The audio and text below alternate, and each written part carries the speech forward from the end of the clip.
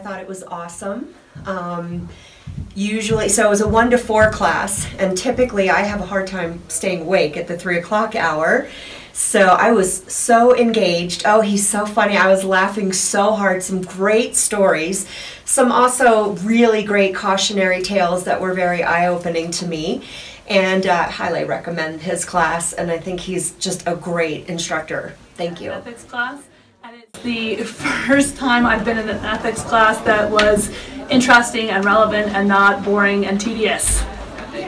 And I'm here to learn how to protect my sellers, what information we can give out, what information we can't give out, and how that's going to affect them. Ethical social media, as far as it's concerned in real estate, I think it's a valuable course, and I want to thank the Summit Association. Social media.